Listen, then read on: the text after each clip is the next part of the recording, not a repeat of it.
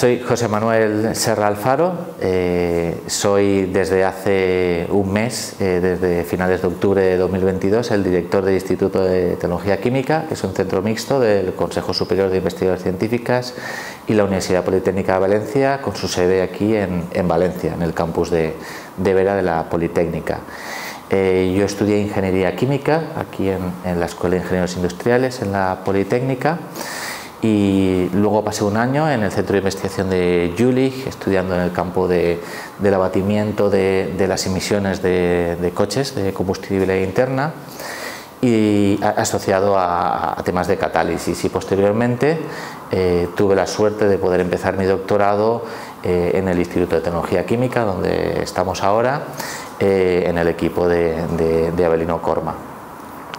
Posteriormente eh, pasé dos años eh, en el mismo centro de investigación, pero en otra temática en otro instituto, eh, trabajando en la parte de, electroquímica para pilas de combustible de actualizadores, aplicados también en ciertos casos a procesos catalíticos y a la captura de CO2.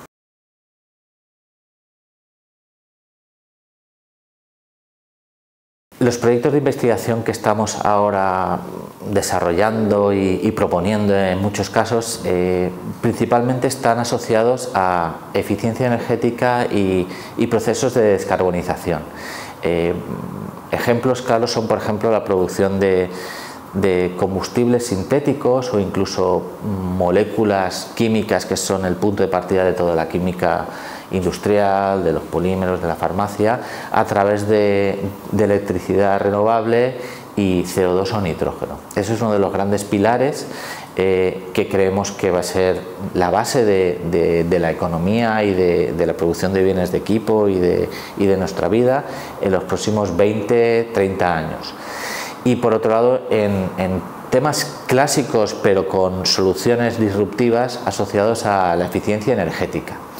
Porque la eficiencia energética en los siguientes 10 años va a ser la manera de hacernos más verdes, a pesar de que está todo este boom del hidrógeno verde o eh, la manera más verde para empezar es ser más eficientes y reciclar o reutilizar.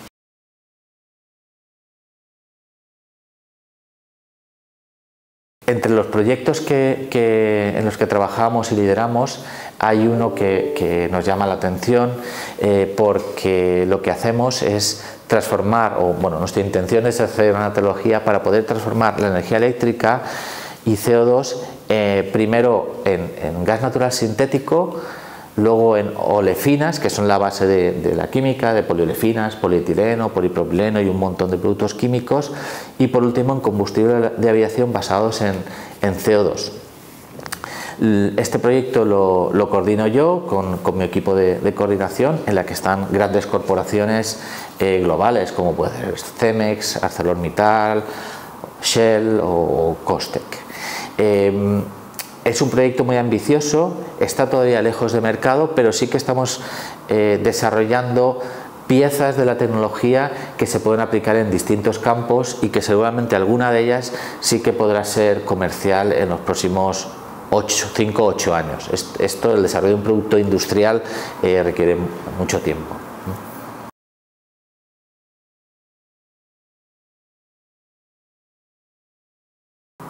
Afronto la dirección del ITECO con mucha ilusión y con, muchísimo orgullo porque, como hemos conocido, es un centro de, excelencia de tecnología química a nivel nacional, diríamos, con permiso de, otros centros, que es uno de los mejores y lo mismo se podría decir a nivel europeo, incluso global. En, algunos aspectos, por ejemplo, el tema de, catalizadores basados en, ceolitas o principalmente en sistemas nanoporosos, eh, está en el top 3, eh, top 3, que se puede decir. Por tanto, es un, grandísimo orgullo y una gran responsabilidad. Evidentemente, eh, a lo largo de los tiempos y dado el éxito y el crecimiento que, hemos tenido en los últimos años, somos prácticamente 300, depende, puedo decir que seguramente es más ahora, 300 investigadores, contando a todos, eh, pues hemos llegado a, un momento en el que hay que hacer transiciones en, temas de gestión y sobre todo en tema de instalaciones. Eh, estamos ahora un poco confinados, eh, por decirlo así, en, unos espacios que, requieren que revisemos eh, esa situación para realmente estar en línea con el tipo de actividad y proyectos que desarrollamos.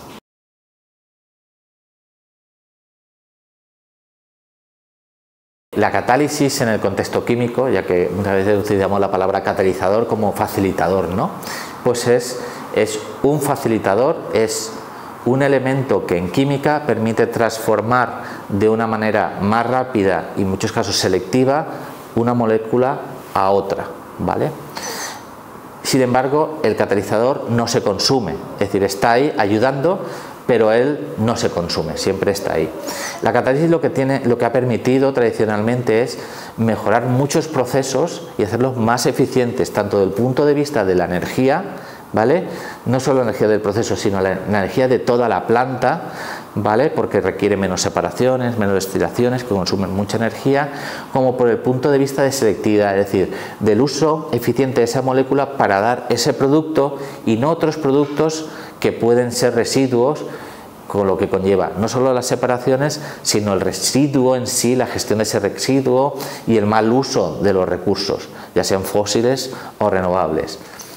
De estas palabras se, puede deducir muy bien que la catálisis va a seguir, eh, manteniendo un rol muy importante, eh, no solo en el uso de los recursos y por ende en la eficiencia, ¿no? que es el parámetro que usamos para caracterizar o, eh, en números eh, lo que es un buen uso.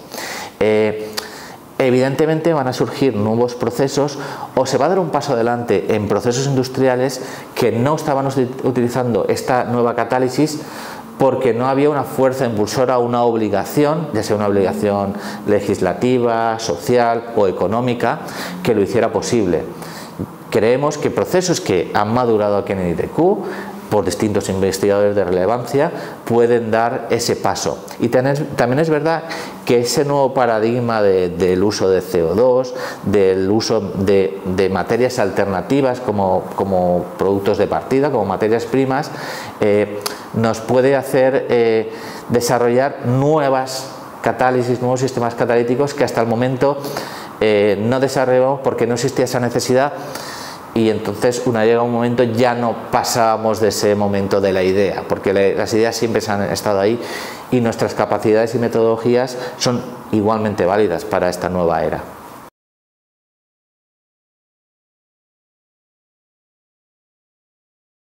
Más que revolución, eh, yo diría una intensificación y, y, la gente es más consciente de que debe hacer un uso eficiente de la energía, ¿vale? Tanto desde el punto de vista de edificios, ¿vale? que eso es el cabello de batalla en, en, España, pero sobre todo en Europa, hace falta una mayor eficiencia energética en lo que se llama heating and cooling, ¿vale? y a nivel industrial, por supuesto. Revolución, yo hablo de revolución eh, más bien a, a nivel industrial. Estamos en una, no sé si tercera o cuarta revolución industrial muchas veces uno cuando está dentro no se da cuenta, es cuando han pasado 20 o, 50 años cuando uno se da cuenta. Sí que hay una revolución en tanto en cuanto queremos hacer las cosas más eficientes y queremos desarrollar sistemas o procesos intensificados industriales que no solo permitan mayor eficiencia, sino una mayor selectividad y uso de esos recursos alternativos que son los renovables, que sea CO2 biogénico o atmosférico, electricidad renovable y biomasa.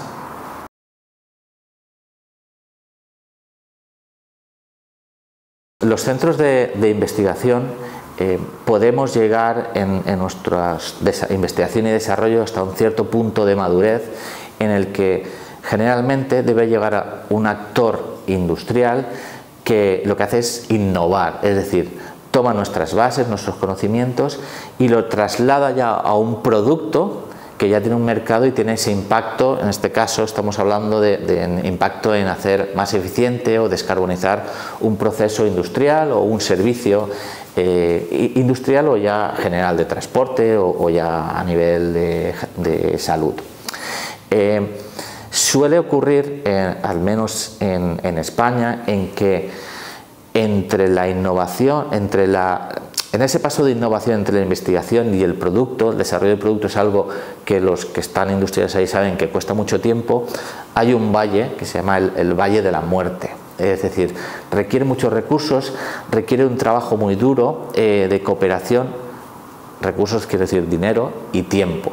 Entonces ese riesgo tan grande normalmente no lo solemos afrontar Mm, generalmente en, España, ¿vale? Otros países sí que están muy acostumbrados a ello, ¿no? Porque ya tienen ese tejido, esa tradición. Estados Unidos son Estados Unidos, los países nórdicos, Alemania. Entonces, y tienen centros que catalizan ese paso, ¿vale? Es decir, de hacer eh, un catalizador súper disruptivo, súper eficiente, que sea de un gramo a una cosa que sea una tonelada, eh, requiere muchos pasos, muchísimos, hasta rehacer todo y hacerlo. Aunque el conocimiento y la base ya existan, requieren de unos pasos muy complejos y tiempo. Entonces, para ello, recibimos el mandato del Ministerio a través de los fondos Next Generation eh, para intentar ayudar, dar ese servicio a la industria para que sea más competitiva, más innovadora, a través de todo el conocimiento que nosotros generamos, porque en España bien sabido, se hace muy buena ciencia, modestia, modestia aparte. Entonces lo que decidimos es crear un hub de innovación, ¿vale? que es así como lo definen en Europa, eh, en el que pudiéramos tener pilotos de más escala que nos permitieran minimizar el riesgo en ese, en ese paso. Pero ese paso no lo podemos dar solos, porque entonces no desarrollaríamos las mimbres de un producto. Eso se tiene que hacer con la industria. Es decir, vamos a crear unas instalaciones singulares en las que haya pilotos, lo llamamos capacidades, pero que sea un ecosistema, un ambiente en el que además puedan incubarse spin-offs, eh, puedan venir empresas incluso con otros centros, no tiene que ser necesariamente solo del CSIC ni EITQ, puede ser un instituto tecnológico de la red tecnológica o valenciana o española o europea, ¿vale? No, mm, pero la idea es que de eh, ese ecosistema, esos servicios, esas unidades básicas de analítica, de control de calidad, de instalaciones de gases, de seguridad, y el know-how, el expertise que esté ahí, de manera que se minimice mucho el riesgo y las empresas puedan asumir esos retos que las hagan más competitivas y generen riqueza aquí en el país. Ese es el objetivo, ¿no? Es, es una estrategia de usar los fondos europeos para realmente hacernos más competitivos frente a otros países que ya están tomando estas decisiones y están aprovechando este cambio de paradigma en, la energía y la, y la industria para hacerse todavía más fuertes. Y es una oportunidad que creemos que podemos utilizar a través de los medios que nos dan y nuestro conocimiento. Bueno, el centro de investigación era el Research Center Jülich, en alemán, como le llaman allí, Forschungszentrum Jülich. Eh, bueno, fue una experiencia muy enriquecedora. Yo en general a, los investigadores, a los jóvenes investigadores, bueno y mayores, a todos, recomiendo que, que se vayan a, un centro de excelencia, si es posible de excelencia, pero un centro de investigación eh, sólido en un campo interesante para ellos, que, que les pueda dar nuevas capacidades. Eh, hay que entender y asimilar otras maneras de trabajar, tanto del punto de vista de la gestión científica como desde el punto de vista científico, ¿no? Eh, cómo se trabaja, eh, qué tipo de, técnicas de gestión interna en el laboratorio, de la interacción entre investigadores. ¿Qué más sacaría de allí? Pues yo conocí muy bien el sistema alemán, vi, estuve en comisiones, vi lo que son las comisiones y os puedo decir que muchas cosas están muy bien organizadas en Alemania, pero al final la manera de funcionar, las cabezas funcionan igual igual para lo bueno y para lo malo, ¿vale? Eh, hay gente igualmente brillante allí, lo que pasa es que allí lo que sucede es que la gente se va mucho a la industria, porque la industria absorbe mucho.